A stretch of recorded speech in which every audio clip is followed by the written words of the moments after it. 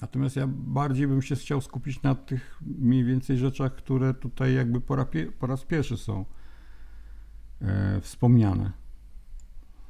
Ale jak inne rzeczy też nas e, nurtują, czy, czy dostrzegliśmy coś, to też e, możemy tutaj się dzielić e, informacjami. Najprościej od tyłu. Nie zawiążesz pyska wołowi mucącemu zboże. No to znamy z wypowiedzi Pawła, tak? Do, do Tymoteusza chyba tam bodajże mm, on to przytacza. Gdzie jakby odrzuca pewne plotki, że, że coś robi i, i wszyscy muszą tam nakładać na niego. Paweł akurat może w, w którymś tam czasie korzystał z datków, ale tam z tego wiem, co wiemy, to też on szył namioty.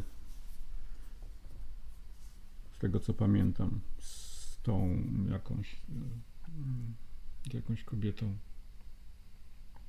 Tak mi się coś kojarzy.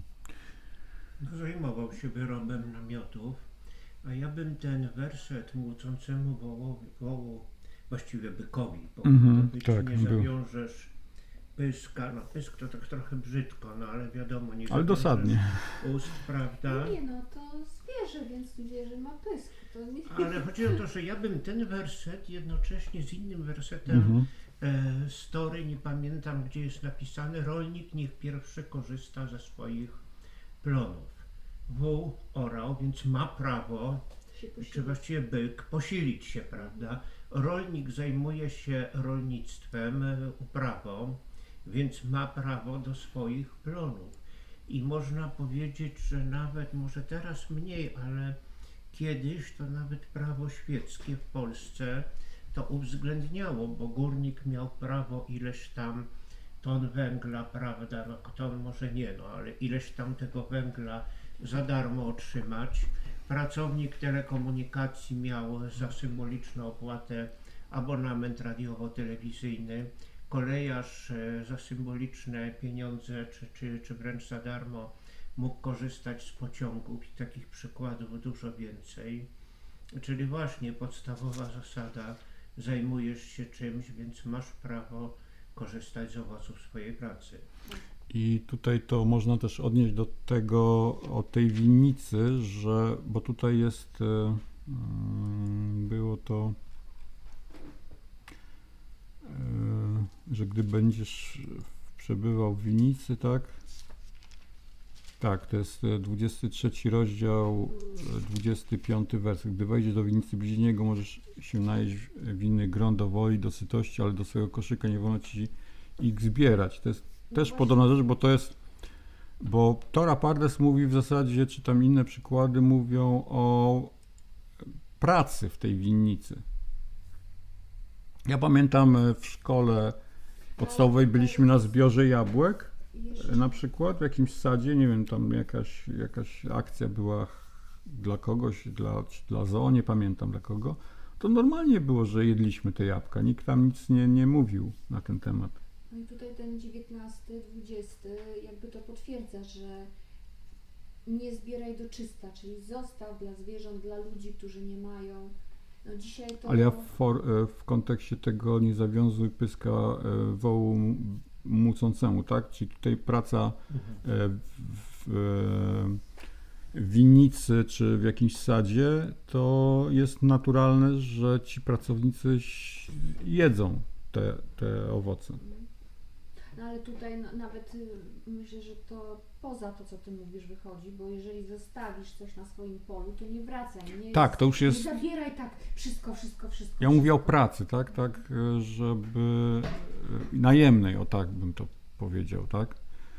Tu jest ten warunek, że nie możesz nic ze sobą zabierać. Możesz tylko na miejscu spożyć. To jest też ważna, istotna mm, informacja. No ja chciałem jeszcze do tego dodać, tylko potwierdzam, że znaczy e, nie mogę potwierdzić prawdziwości, bo to są rzeczy zasłyszane, że tak było w fabryce Wedla mm, w Warszawie, że kto pracował mo, miał prawo jeść słodyczy Oj, to ja bym tam nie mogła ile zechciał, y, tylko nie mógł zabierać. I podobno, tylko celowo akcentuję słowo podobno, tak jest w restauracjach McDonalda. Pracownicy mogą jeść Mhm. wszystko bez ograniczeń, nie wolno im tylko wynosić. Czy to prawda? Nie wiem, tak słyszałem. Mhm. No ciekawe No, myśli. To też nas uczy takiej otwartej ręki. Nie takiej, że co do grosza. Właścicieli. Tak, tak. Ktoś, kto, kto, Ma biznes. kto coś, tak, coś ma, Mhm. żeby pamiętać w tym wszystkim o, o drugim człowieku. No i o zwierzęciu też. Są proste zasady, y, które właśnie też e, pokazują, bo ja pamiętam, no też e, pamiętam swego czasu, gdzieś tam jeździłem na jakieś jezioro e, autobusem się przechodziło przez rząd malin. Pamiętam jak dziś, że szedłem i zrywałem i tam był właściciel i nic nie powiedział. Ale to dawne, dawne czasy były, ale to przechodziłem, nie zbierałem nic do siebie. Może to kiedyś tak było bardziej naturalne, czy, czy ten, e, czy tak po prostu było, tak? Jeszua szedł ze swoimi uczniami i uczniowie łuskali kłosy. Te Tak. Kłosy też ktoś zasiał i to było pole do kogoś tam należące. No ale z tego co ja wiem, to dzisiejsze prawo też mówi, że jeżeli gałąź jakiegoś drzewa owocowego na zewnątrz, e, powiedzmy poza ogrodzenie, to przechodzień oficjalnie ma prawo e, korzystać z tych owoców. No też kiedyś na Czereśniach byliśmy, tak. Tam e, właściciele byli, ale duża część wisiała za płotem. Na wielkiej, długiej wycieczce. I jest to legalne myśl prawa również świeckiego. I tak no, zastanawiałem się, czy podejdzie, coś będzie mówił, ale byłem nastawiony, że no, chciałem to właśnie tak jak ty mówisz e, powiedzieć. No, wisi na zewnątrz, jest dopuszczone. Inna ciekawa rzecz, bardzo trudna, się okazuje we współczesnym świecie. E, tu mamy 25 rozdział, 13 do 16 w zasadzie wersetu o dwojakich odważnikach i dwojakiej Efie, czyli cięż, e, ciężarkach, tak, które służyły do odważania czegoś i Efa jako pojemność do odmierzania czegoś e, sypkiego, czy, czy płyny, tak, oliwa, wino i tak dalej. Że Bóg się brzydzi. E, kupowałem ostatnio coś tam, takie ogniwa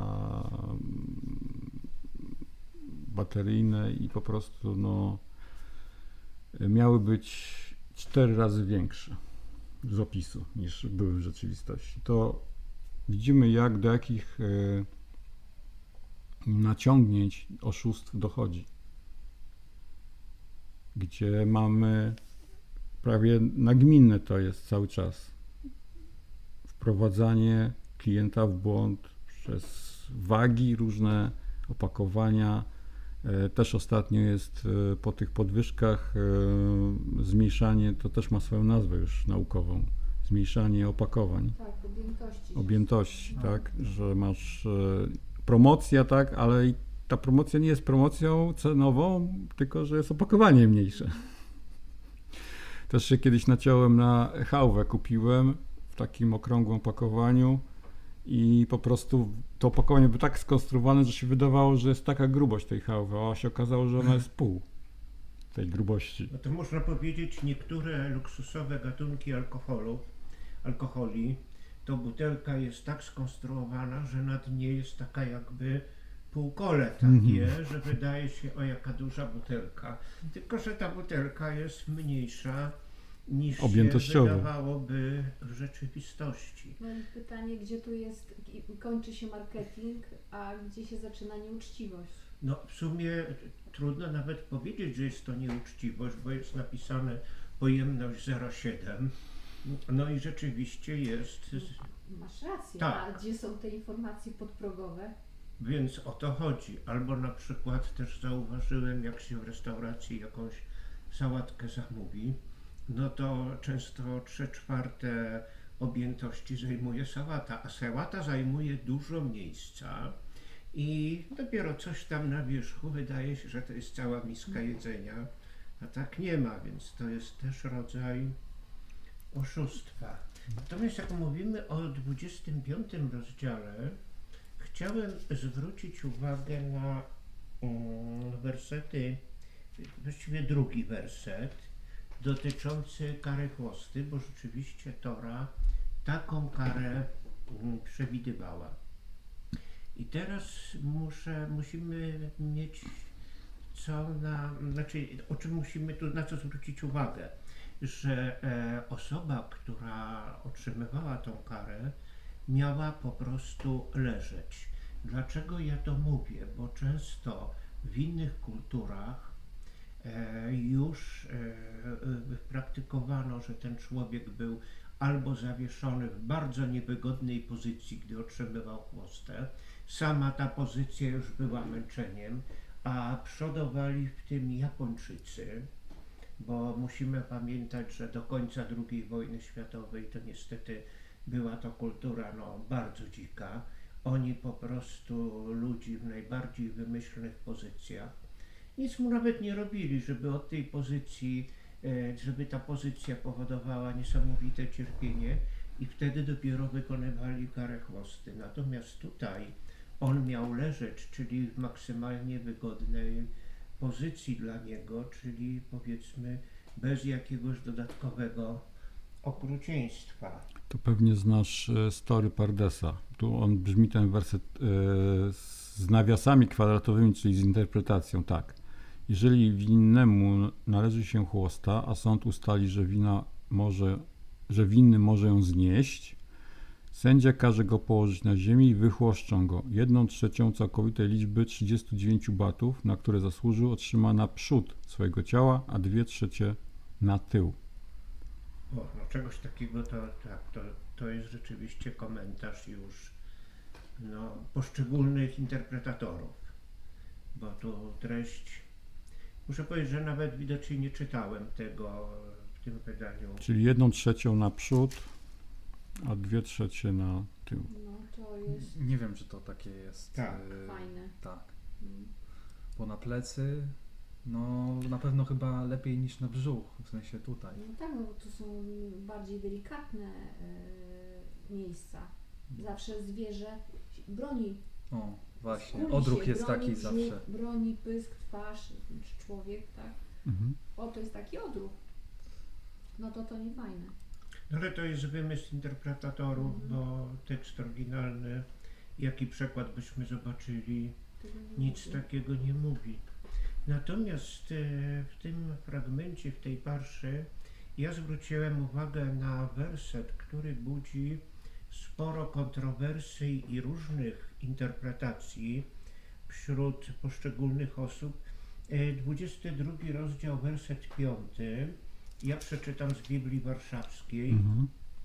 Kobieta nie będzie nosiła ubioru męskiego, a mężczyzna nie ubierze szaty kobiecej, gdyż obrzydliwością dla Jahwe jest każdy, kto to czyni. No, interpretacje są różne. Bardzo często jest taka interpretacja, że kobieta nie może nosić spodni, bo spodnie są strojem męskim.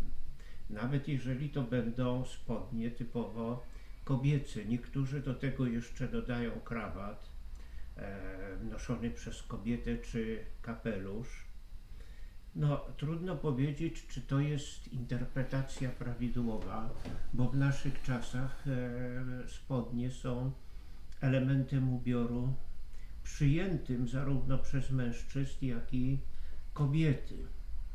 E, Ja na przykład muszę powiedzieć, że sam miałem kiedyś taki problem z tym, że na to nie zwracałem uwagi, bo dzisiaj to patrząc na mnie trudno w to uwierzyć, ale mając lat kilkanaście czy nawet 22 powiedzmy, w większości sklepów odzieżowych byłem, znaczy wtedy byłem tak szczupły, chorobliwie szczupły, że w większości sklepów odzieżowych na stoisku męskim nie było po prostu dla mnie rozmiaru i wysyłali mnie na dział damski. Musiałem kupować odzież. Oczywiście kupowałem takie elementy odzieży, które nosi również mężczyzna, powiedzmy jakieś dżinsy, jakiś swedr w, bar, w barwach, czy tam coś w barwach ciemnych, prawda?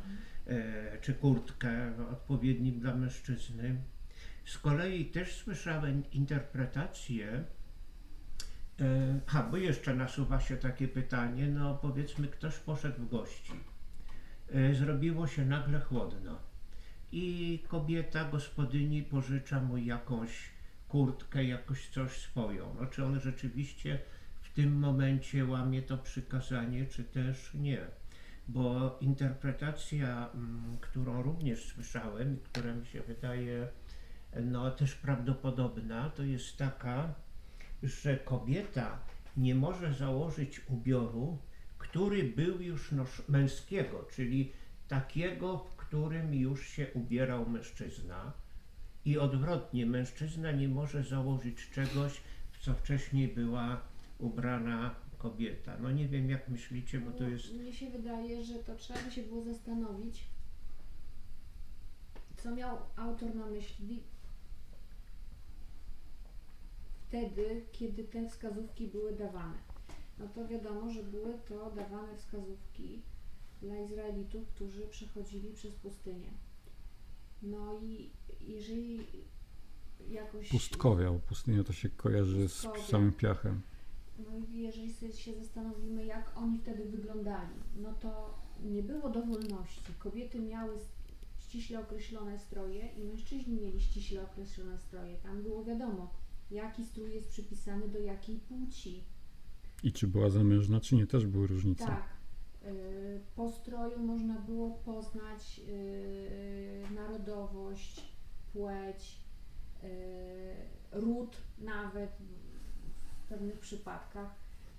I y, było, kobieta nie mogła sobie kupić jakby, tak jak my dzisiaj mamy spodnie, tak? Tylko są spodnie Mhm. męskie i damskie. Były określone ubrania dla kobiet i określone ubrania dla mężczyzn, więc y, w tamtych czasach, jeżeli ktoś założył ubranie kobiety, to nie było przez przypadek albo dla, z takiego powodu, że yy, męska albo damska wersja tego ubrania. I jeżeli weźmiemy takie coś pod uwagę, to Stwórca daje nam taki przekaz, że chodzi o to, żebyśmy nie przywdziewali ze strojem, kobieta ze strojem męskim, a mężczyzna przywdziewając strój damski, osobowości. Nie zmieniali swoich oso- osobowości, nie zmieniali, upodabniali się do płci przeciwnej, nie nabierali y, jakby właściwości tej poprzez ubiór tej płci przeciwnej, tylko zgodnie z tym, co nam zostało dane, tak mamy się nosić i zachowywać. Czyli nie, kobieta nie powinna próbować być mężczyzną, a mężczyzna kobietą. No bo Jeżeli- chyba Jeszcze tylko dodam, jeżeli weźmiemy pod uwagę te wskazówki, które tam są y, powiedziane o roli mężczyzny, kobiety, y, jak, że y, obrze, y, mm, ktoś, kto y, nie posiada członka, nie może wejść do społeczności. Trzeba wziąć pod uwagę, jak ważna w tamtym czasie była płodność i y, wszystkie te rzeczy, które ze sobą niosła przynależność do danej płci. I myślę, że o to w tym, y, w tym y, No bo pew, wersie pew, chodzi. pewnego rodzaju tym kluczem e, jest to, dlaczego jest to wstrętne. Ja się zgadzam z tym, co powiedziałaś, bo może tu właśnie chodzi o, że mężczyzna czuje się kobietą i będzie się teraz ubierać jak kobieta i wszyscy mają, ją trakt, Tak. ma go, mają go traktować jako kobietę. A to jest- jakieś okrycie wierzchnie, no to on się nie stanie, bo... Bo samo noszenie, noszenie samych ubrań męskich czy, czy żeńskich, czy tak, e, mężczyzna ż- żeński, a, a kobieta męskie, czy to jest wstrętne? Bo tu chodzi bardziej o coś głębszego. W tym znaczeniu uważam, co ty powiedziałaś. Czyli jeżeli ktoś chce się upodobnić celowo, tak jak dzisiaj to się mówi, że on jest mężczyzną, ale on czuje się kobietą i się ubiera jak kobieta upodabnia się do tej kobiety, tak? Bo, bo, bo są ludzie, którzy, mężczyźni, którzy się upodabniają do, tej, do tych kobiet, tak? To jest transseksualizm, tak? To się dzisiaj nazywa. Jest dużo tego. no, to są różne Tak. Ale to jest y, zgodne z tym, bo tu pod, podstawowym prawem jest rozradzajcie się, rozmnażajcie, czyli bądźcie mężczyznami, bądźcie kobietami w swych podstawowych fizycznych właściwościach, rolach. Bo te przebieranie się to już jest to jakieś zakłócenia, dzisiaj to nazywa się osobowości, tak? Choroby wręcz. Tak, y, to się nazywa. i krótkie fryzury, no to czasy Coco Chanel. Przecież y, aktorka na krótko się ścięła, pewna za jej radą. E, to był taki nurt, który się pojawił w pewnym momencie i e, zmieniły się zachowania kobiet wtedy. A jak powiedzieć e, na to, że wymysłem, pierwowzorem wysokich obcasów to chodzili mężczyźni na wysokich obcasach? Czyli ja bym powiedział tak, że w każdej epoce historycznej i w każdym powiedzmy kręgu kulturowym dane elementy ubioru mogą być typowo męskie lub typowo damskie, albo nie. I tu mogę podać taki przykład. No kiedyś spodni tradycyjnych nie było. Słowo spodnie dotyczyło czegoś, co w rodzaju bielizny, między innymi Kochen Hagadol miał uszyte mieć specjalne, ale to coś w rodzaju kalesów. No nie było spodni. Dzisiaj na przykład spódnica czy sukienka jest e, strojem typowo damskim. Gdyby ktoś się powiedzmy na ulicach Warszawy facet pojawił, no to no, chyba, byłby, że to będzie Arab. e, to byłby typowy... Ale on to w todze będzie. Ale zostawmy Arabów, zostawmy Arabów, mówię o Polakach. W Polsce jest to typowy strój damski i myślę, że gdyby mężczyzna ubrał się, to w sposób jawny by postąpił wbrew temu nakazowi tory, Tak, które omawialiśmy. Tak, tak. Ale gdybyśmy pojechali, to mogę potwierdzić, bo widziałem to osobiście, do Irlandii albo do Szkocji, tam zobaczymy męs- mężczyzn w strojach ludowych, typowych spódniczkach, które się znacznie różnią od damskiej spódnicy. To jest zupełnie co innego, ale to jest spódnica. No i w tym wypadku nie możemy powiedzieć, że on założył damski strój, bo to jest przyjęte w kulturze szkocko-irlandzkiej, różnych uroczystościach lodowych, sam Czyli widziałem. jakby to potwierdza, że to nie chodzi o Popatrzmy e, ekranizację czasów tamtejszych, Rzym, rzymskie legiony. No to w czym one, oni chodzą tak w tamtym rejonie, tak? W sukienkach. W sukienkach. Takich przed kolanko jeszcze. Czyli chodzi o upodobnianie się mężczyzna, jak się upodobnia do kobiety, no, W jakimś celu i to jest wstrętne. a nie to, że na przykład ktoś e, z jakiegoś powodu założy strój, który no równie dobrze pasuje i do mężczyzn, i do kobiet. Przykład, gdybyśmy się wybrali, wybralibyśmy się na szlak górski i obejrzelibyśmy ubrania, w których są ubrani turyści, to naprawdę można powiedzieć, że są mężczyźni i kobiety. No, na szlaku górskim strój turystyczny jest praktycznie taki sam. Mhm, Mhm. No. dokładnie. Ale są, e, ja znam taki przypadek, e, dziewczyna po prostu tak się ostrzygła włosy i ubrała, że ktoś do niej się zwrócił, proszę pana. I nie miała, nie było to zamierzone wcale. Tak.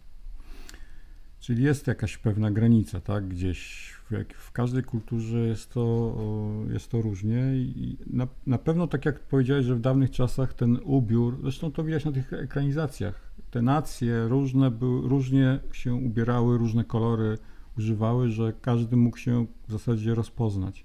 Tym bardziej te ubrania męskie i żeńskie różniły się. Dzisiaj no, trudno nam co do szczegółów y, y, znać, co kiedyś było, ale no, są, są w Polsce na przykład y, muzea odzieży i nawet jakieś filmy puszczone były tam w jakiejś historia, czy tam jakichś innych programów, gdzie pokazują, że te dzisiaj, co uważa się za męskie, kiedyś były żeńskimi kobietami, ko, ubraniami i na odwrót.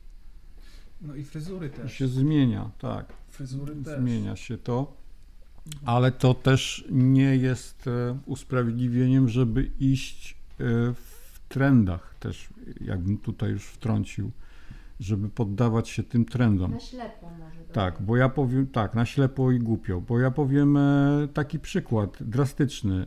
Wyobraźcie, albo sobie może się spotkaliście plaże brazylijskie, jaka tam jest moda.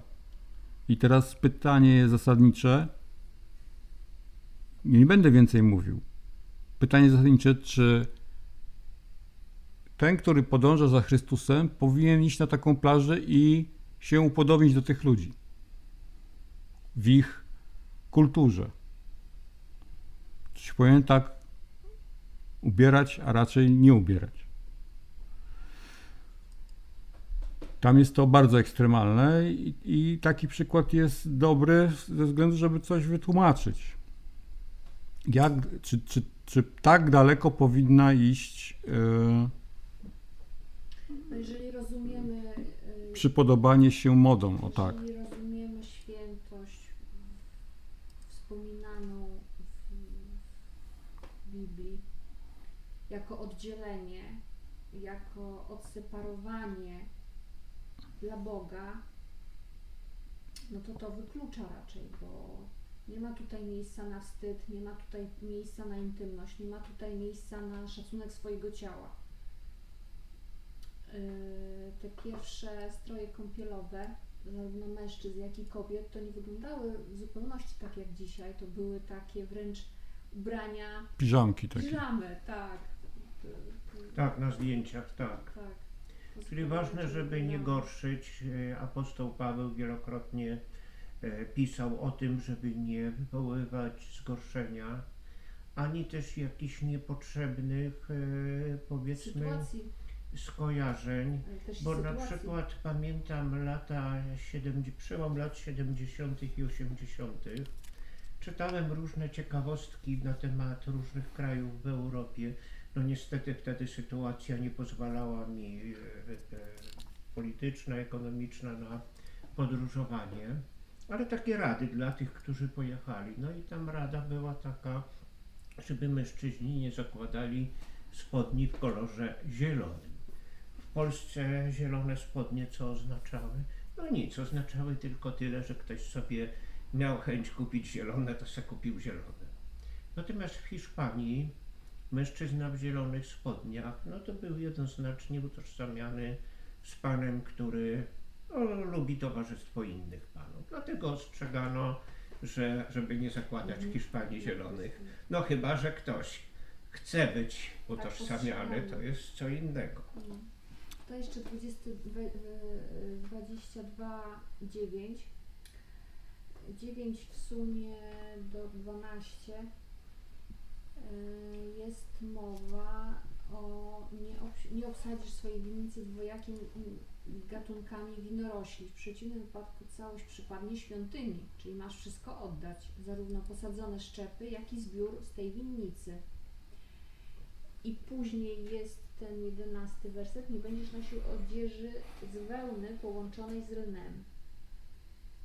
Mhm. Y, Nie będziesz orał mając zaprzęgu wołu wraz z osłem. I to, i to jest pomiędzy tymi dwoma wersetami. I to się No to jest zbieranina, uważam, trochę myśli moim rozrzuconych. Moim zdaniem nie. Zbieranina, ale mająca wspólny temat. Mhm. Tak, natomiast do tych ubrań, do wyróżniania się, tu bym po, polecił ten 22-12, tak? Czyli będziesz tworzył na rogach swojego płaszcza, jak to powiedziano, frędzle. I to był jeden ze znaków rozpoznawczych e, mieszkańca e, Izraela, gdzie tym właśnie elementem pierwszym, na pierwszy rzut oka w ubraniu można było rozpoznać, że on nim jest. To tak e, jakby do, dokończając, doka, dokończając e, kwestię ubrań, tak? Jak wyróżnić, wyróżniać, e, jak byli wyróżnieni, odróżnieni od innych.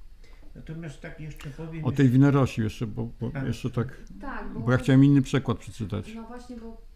A, który? E, czyli 22,9.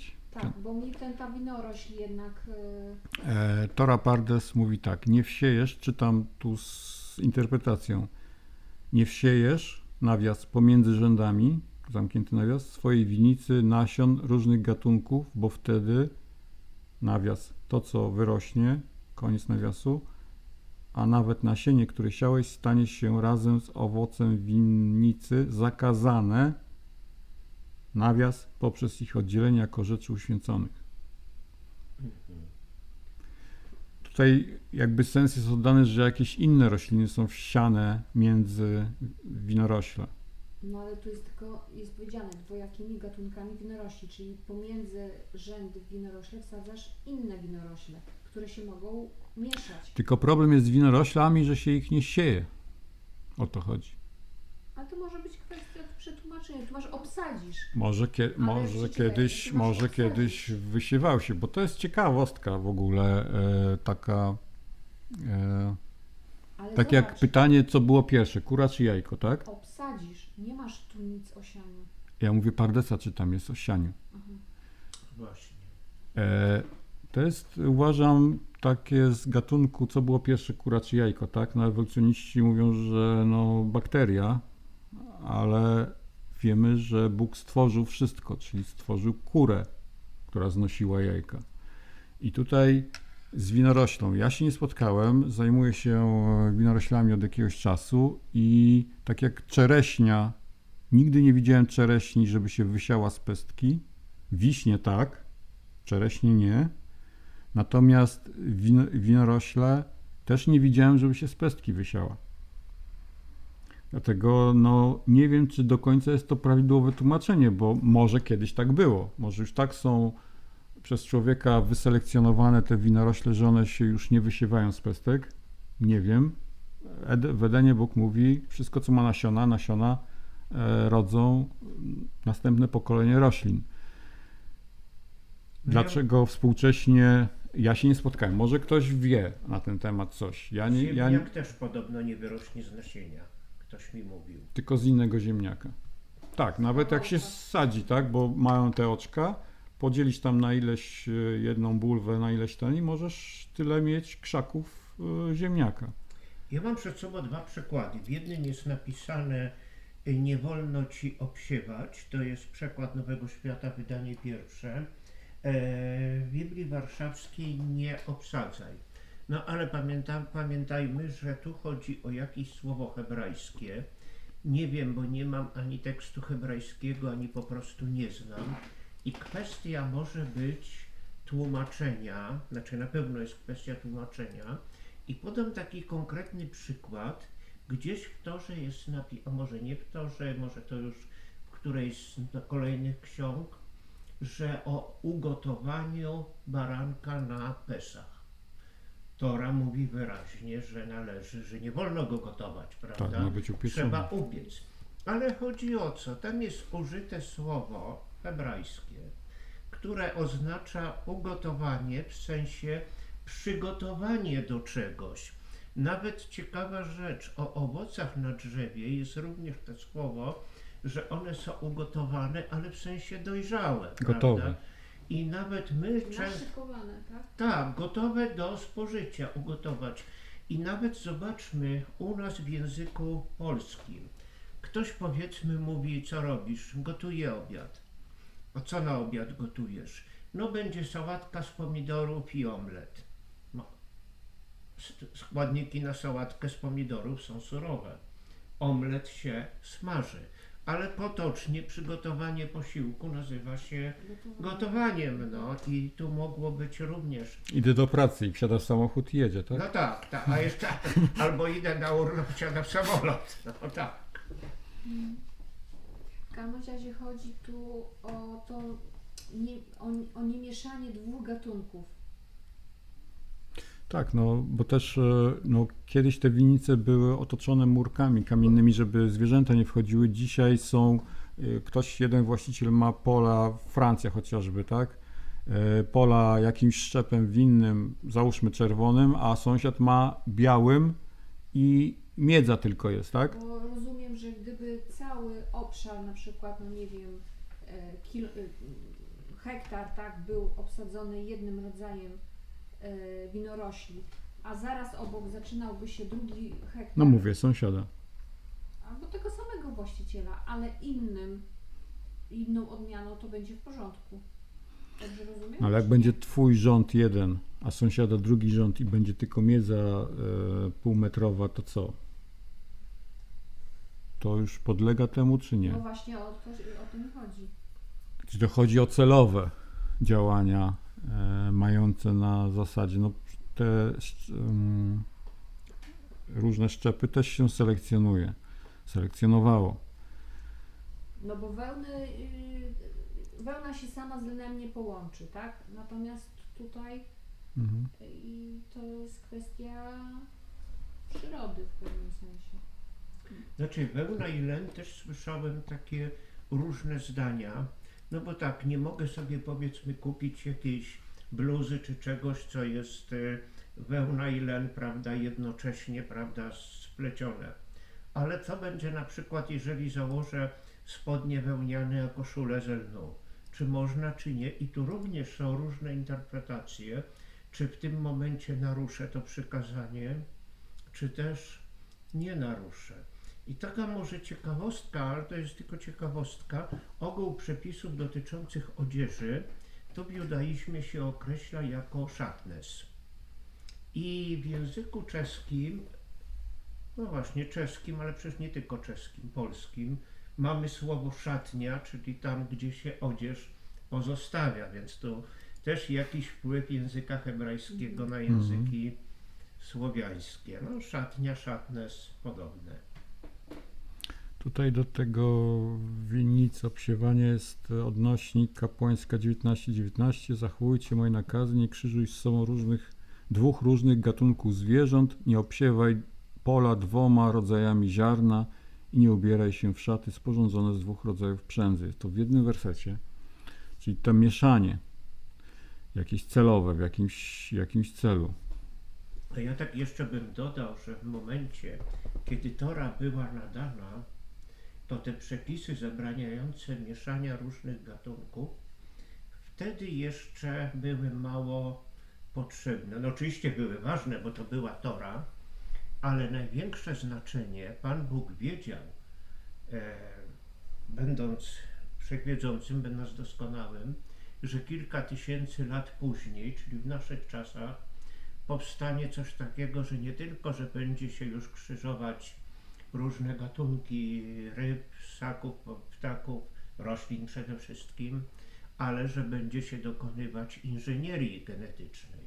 I teraz, o ile Pan Bóg powiedział, że tutaj nie wolno dwóch różnych gatunków posadzić koło siebie, o ileż bardziej grzechem jest przeciwko prawu Bożemu wszelkie manipulowanie w genomie człowieka, zwierzęcia Co albo rośliny. e, wymierną niekorzyść przynosi. Bo jeżeli po, popatrzymy na te trzy czynniki, czyli mieszanie zwierząt, mieszanie ziaren i mieszanie ubrań, tak? Czy męskich z żeńskimi i lub e, wełnianych z lnianymi, to trzeba by znaleźć wspólny mianownik. O co chodzi? Bo mi się wydaje, że znowu tutaj Bóg wraca do tego pierwotnego mm, sensu, bo mieszanie dwóch gatunków zwierząt mamy e, wołu, tak? Dobrze, mu- nie wołu, tylko mm, ten osioł z... W jednym Adaś, tak. dziesiąty werset. Właśnie chciałam o tym powiedzieć, bo może jakby wyjaśnieniem dla tych dwóch, e, dziewiątego, jedenastego jest Muł, dziesiąty. muł, czyli krzyżówka osła z koniem, tak? Tak, bo, bo popatrzcie, w tym nie będziesz orał mając zaprzęgu wołu z osłem. Czym się różnią te dwa zwierzęta? Siłą. Siłą. Wiadomo, że ten wół będzie większość pracy wykonywał, a osioł nie. A Więc- osioł będzie mu przeszkadzał. a osioł będzie mu przeszkadzał, czyli zamierzenie celowe, czyli y, dwa zwierzęta, czyli podwójna siła y, zjednoczona w jednym celu, czyli nie jeden idzie w prawo, drugi w lewo, tylko razem, y, nie da efektów takich, jakie y, potrzebne są. Bo gdyby były dwa woły albo dwa osły, to ta praca byłaby inaczej wykonana i skuteczniej. I teraz tak, jeżeli połączymy wełnę z lnem, to też wziąwszy pod uwagę właściwości, tak samo jak inne właściwości ma wół i osioł, tak samo jak wełna i len mają inne właściwości, wtedy też nie będzie to ubranie, ta odzież y, osiągać W swoich właściwości, tak? dokładnie, bo wełna ma stricte inne niż len. E, Otwórzmy sobie kapłańska 1919, bo ja do tego chciałem powiedzieć, natomiast poszło to w innym kierunku. Bo też jest tutaj e, te czynniki wspomniane, ale chciałbym tutaj, na, żebyśmy mieli to przed oczami, bo tutaj jest pierwszym, nie krzyżuj sobie dwóch różnych gatunków zwierząt. Nie chodzi tu o stricte o pracę, tylko o przekazywanie, tak? Potomstwa. Dałem przykład muła, gdzie muł już jest bezpłodny. I może w kontekście tego jest nie obsiewaj dwoma ziarnami, że spowodujesz, że spowodujesz coś, czego nie wiesz, że ta roślina stanie się z ziarna bezpłodna to, co mówię o winorośli. Są rośliny, ziemniak czy tam inne, że no, bez człowieka one się nie będą rozmnażać. Znaczy, no ziemniak, jak się nie wyciągnie, to będzie się rozmnażał, bo on się będzie cały czas w ziemi będzie i będzie. Natomiast winorośl, no też, bo jeżeli będzie dziko rosła winorośl, y, będzie wypuszczała długie łozy i te łozy będą po ziemi, to ta łoza się zakorzeni, wypuści w tym miejscu, gdzie leży na ziemi korzeni i w ten sposób też się rozmnaża. Nie wiem.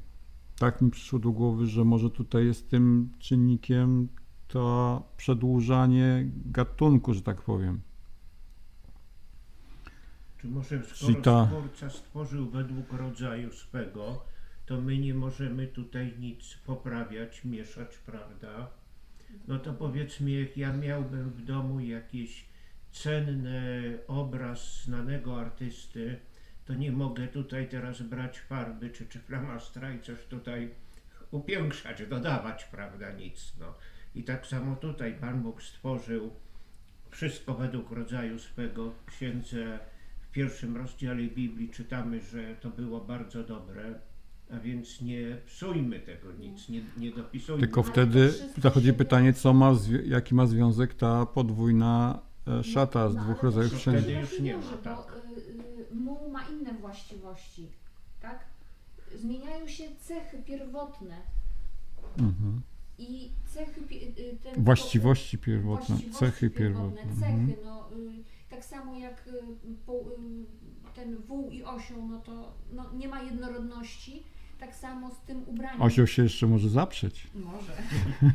Czyli jest, To nie jest to, tak jak Bóg powiedział, wszystko było bardzo dobre, no to przy takim połączeniu to nie jest bardzo dobre. To już nie jest jakby ta właściwość nadana przez Boga, bo myśmy sobie sami to ulepszyli, zmieszali nie we właściwy sposób.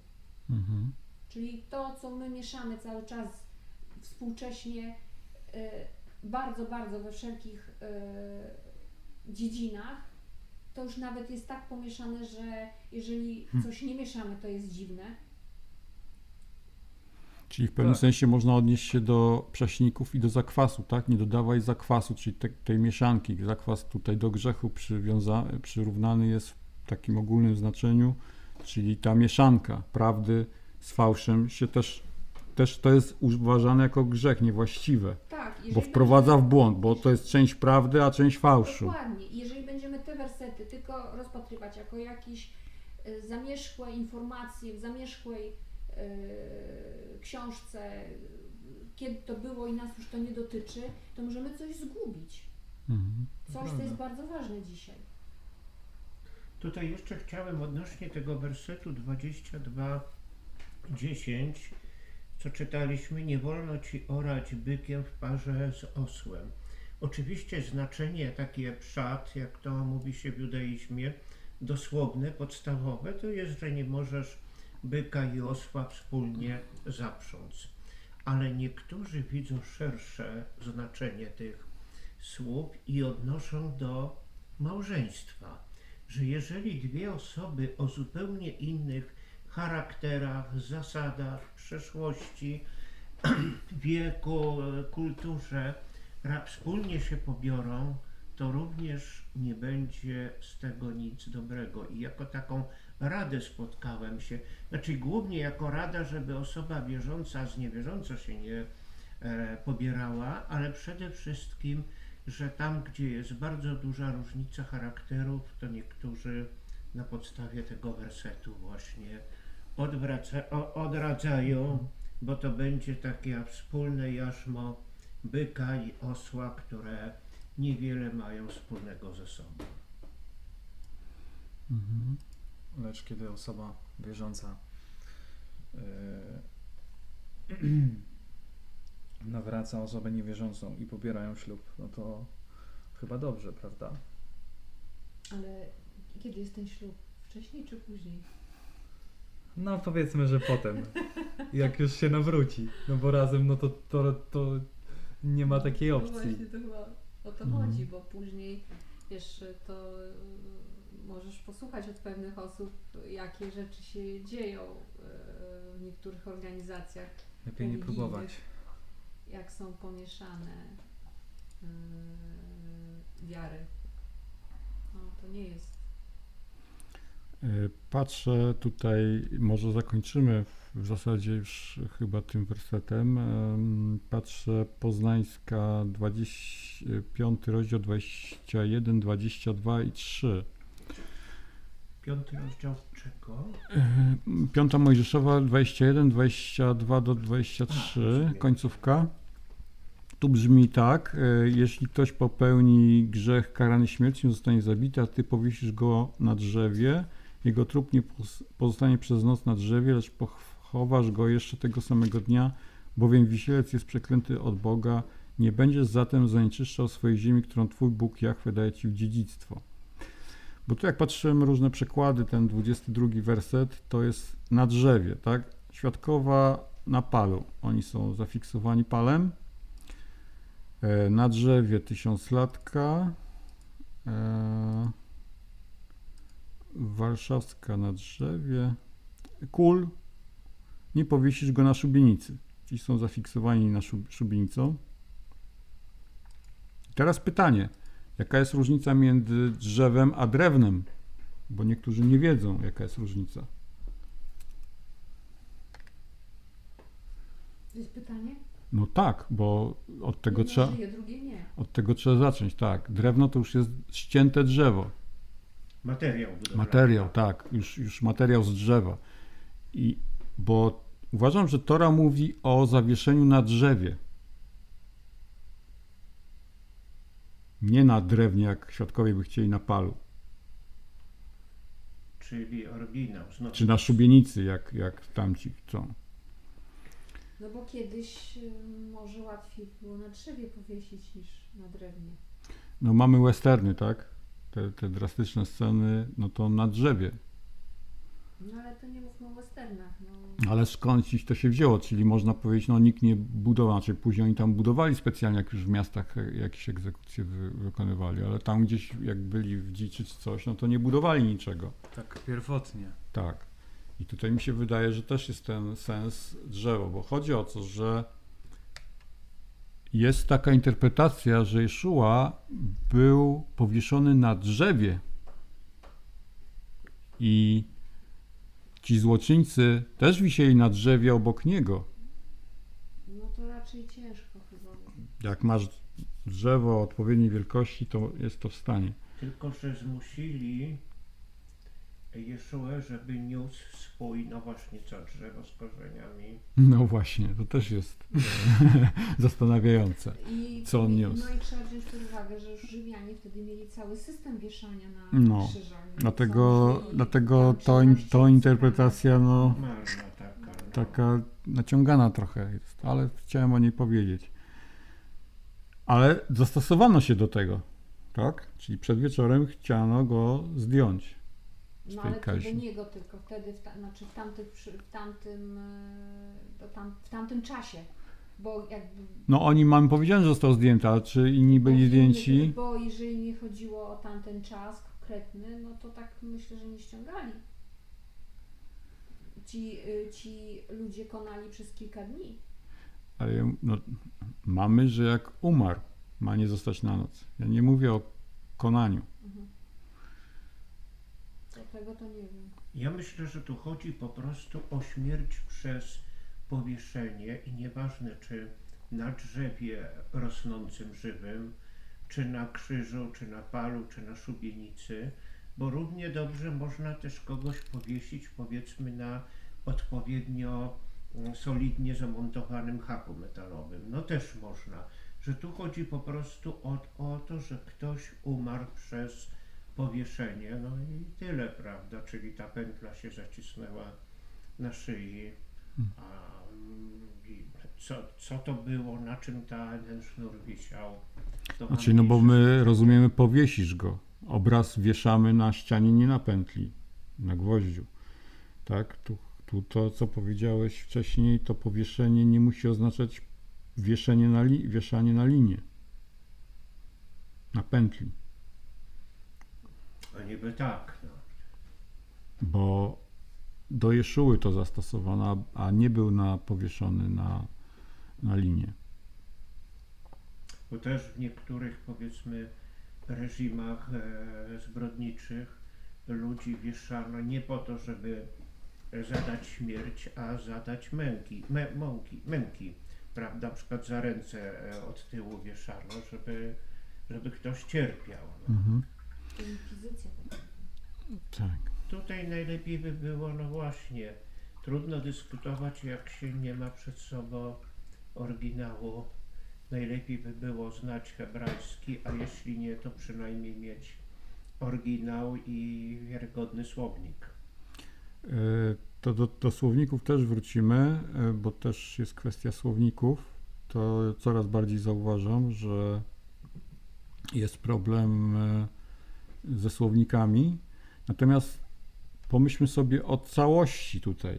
Nie, nie, nie zamykajmy się na jakimś jednym określeniu. Chodzi o to, żeby skazany, który umarł, nie został na noc na tym, na widoku tak można by powiedzieć, na, na tym, bo jego trup, tak, czyli już umarł, ma być pochowany. czyli już umarł, e, ma być pogrzebany. To jest podstawowa zasada tego, czy on był e, tak powieszony, czy na linie, czy na gwoździach, czy na haku, tak, czy mm, w jakiś inny sposób e, karę mu śmierci zadano, to już chyba jest mniej znaczące, bo każda też epoka miała swoje trendy, tak? Francja miała taki przyrząd specjalny z ostrzem przez, przez pewien okres, tak. że lubili to. Później stały się jakieś e, krzesła podłączone do prądu i takie inne jakieś rzeczy. Mi się wydaje, że ten cel może być no, dosyć prosty. Ktoś został uśmiercony, skazany na śmierć, uśmiercony, poniósł karę, a po co kara dodatkowa, żeby na przykład otoczenie, jego bliscy y, z czasów, kiedy żył, jego rodzina, widzieli jak tam wisi powiedzmy tydzień czy dwa tygodnie stoczony przez robactwo, Mhm. wygryziony przez ptaki drapieżne, no chciano tego oszczędzić, no. Umarł, pochować i tyle, no. Jehoszua mamy tutaj w Jozuego 8, e, 28, 29, ja tylko przeczytam na koniec. Jozue zaś spalił Aj, zamie, zamieniając je na zawsze w stos gruzów i miejsce pustynne, którym pozostaje po dzień dzisiejszy. Króla Aj powiesił na drzewie, gdzie pozostał aż do wieczora. O zachodzie słońca rozkazał zdjąć jego zwłoki z drzewa, porzucono go przy samym wejściu do bramy miejskiej, a następnie przywalono stosem kamieni który istnieje po dzień dzisiejszy. Czyli widzimy, że zastosował to e, polecenie, że zawiesił go, tak, i w jaki sposób nie wiemy dokładnie, w jaki sposób, a tą zasadę zastosował, że jak on umarł, to przed em, nastaniem nocy go po prostu pochowano, czyli tu przykryto akurat kamieniami. Też pochowano bo my rozumiemy pochowaną, zakopaną w ziemię, a tutaj mamy ten zwyczaj tamtejszy, że kamieniami obkładano. Aczkolwiek no, spotkałem się, że ten werset był również traktowany jako mesjańskie Mhm. To co, zakończymy tą część? Bo tu już jest 13.22. Do której zrobimy? 13 Do 15.00? To jest półtorej godziny. Tak? Tak? No dobrze, dobrze, dobrze. To zrobimy. Napiszesz tam, że do 15.00 e, przerwę zrobimy i po przerwie e, nawiążemy sobie do święta prześników, które minęło, różne myśli, retrospekcje. Taka. Dobrze, to zapraszam na drugą część o 15.